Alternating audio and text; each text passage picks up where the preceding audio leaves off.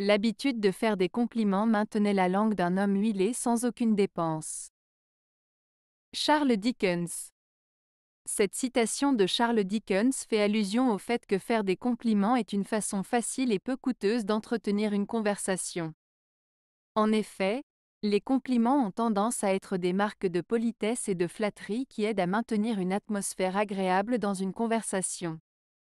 En utilisant des compliments, on peut maintenir l'intérêt de l'autre personne tout en gardant la conversation fluide et agréable.